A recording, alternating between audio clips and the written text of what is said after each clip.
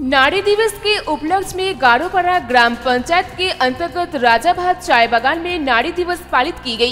इस खास मौके पर सिनी नामक संस्था की ओर से एक नाटकीय प्रस्तुत की गई।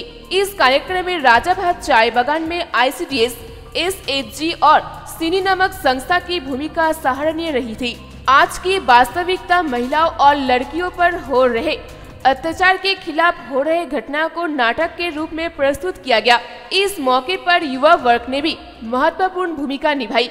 इस विषय पर आयोजक कमेटी के संयोजक सौरभ शर्मा ने बताए आज की कड़वी हकीकत को हम अनदेखा करते आ रहे हैं। इस उद्देश्य के लिए हम आज यह नाटक प्रस्तुत किया है, ताकि लोगों को पता चल सके, हम जाने अनजाने हम अपने आसपास के अपराध को स्वयं नियंत्रण कर सके।